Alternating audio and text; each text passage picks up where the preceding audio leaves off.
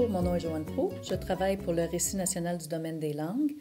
Euh, dans la capsule d'introduction, nous avons proposé quatre façons d'activer les connaissances des élèves.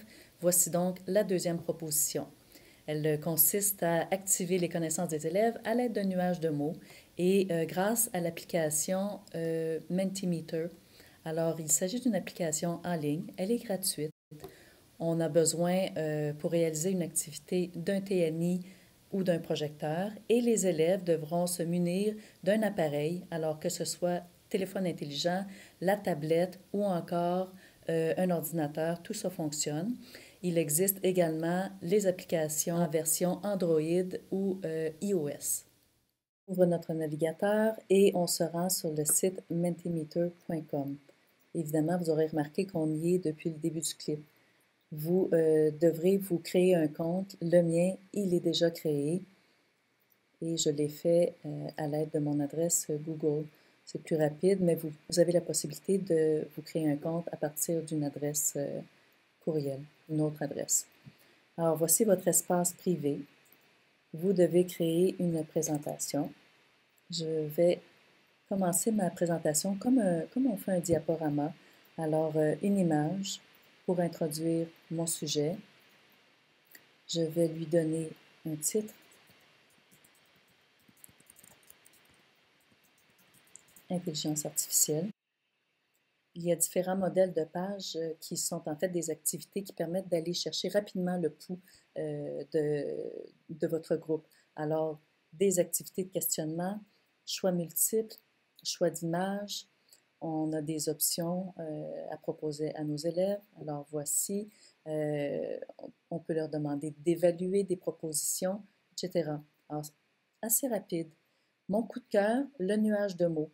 Alors, pour euh, activer les connaissances des élèves. La stratégie est très utile pour permettre aux élèves de, raccrocher les nouveaux contenus qu'on va leur présenter aux, aux, représentations qu'ils ont. Donc, efficace, rapide, trois mots pour aller euh, recueillir euh, les idées qu'ils ont par rapport à l'intelligence artificielle. Je vais donc euh, taper ma question. Que savez-vous de l'intelligence artificielle? Alors, tout simplement, point d'interrogation. Il y a un nombre limite de mots, mais une question, c'est assez court. On peut ajouter un nombre de mots euh, par élève. Alors, je me contente de trois, c'est suffisant. Et quand on est prêt, euh, il suffit de cliquer sur euh, l'icône de présentation.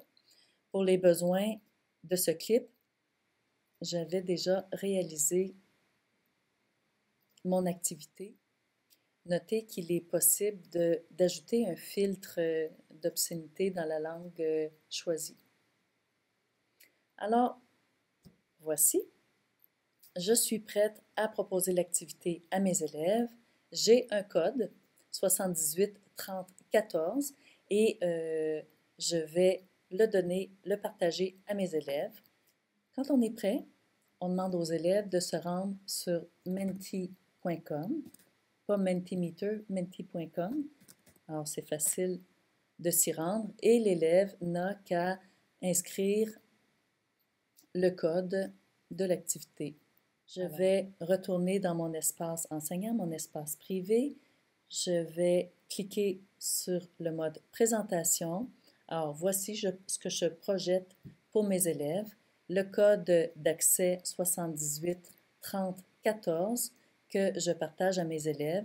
Ils n'ont qu'à l'inscrire euh, ici et à cliquer sur Soumettre. Ils sont maintenant prêts à écrire leurs euh, mots-clés ou les, mots qui leur viennent en tête quand on parle d'intelligence artificielle. Donc, euh, je vais jouer le rôle de l'élève. Alors, intelligence artificielle me fait penser à robot, à ordinateur et à futur. Voilà, je soumets. Voici maintenant l'espace euh, enseignant, ce qui est affiché au projecteur, à l'écran en fait du projecteur ou au TNI. Vous avez un bouton dans le bas qui euh, permet d'afficher les résultats. Je clique au milieu. Voici, que savez-vous de l'intelligence artificielle? Trois mots pour le dire. En un coup d'œil, on peut voir la représentation qu'un groupe se fait d'un sujet. aurez la possibilité d'y retourner, de la présenter à nouveau à vos élèves en cours d'apprentissage à la fin de la séquence. Et euh, comme ça, ben, il sera possible de bonifier le nuage de mots, de, de, s'ajuster, peut-être de revoir certaines conceptions qui étaient euh, peut-être erronées et surtout de mesurer les progrès qui ont été réalisés. C'est donc ce qui met fin à ce clip d'activation de connaissances grâce à un nuage de mots et l'application Mentimeter. Je vous remercie et à la prochaine.